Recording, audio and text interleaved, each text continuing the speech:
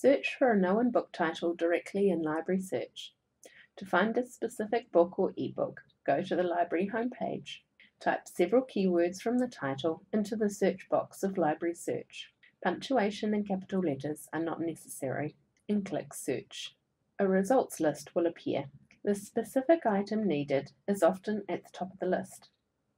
If the item is not on the first part of the page, check the spelling, taking note of conjunctions, for example, every day being treated as one word or two, or add more words to the title. Print copies will have a Library of Congress call number. To access information about the book, click on the title.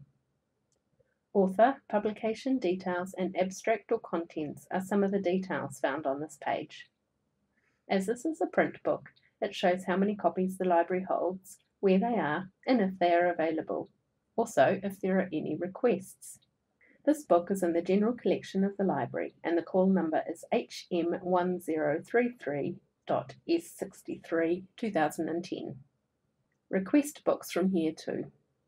Searching for known ebooks is just the same. To tell if it's an ebook, look for content type of book and then full text available or online access instead of a call number.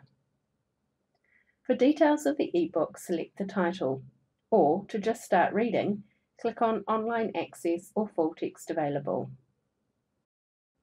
We recommend you watch these videos. For more assistance, please contact the library.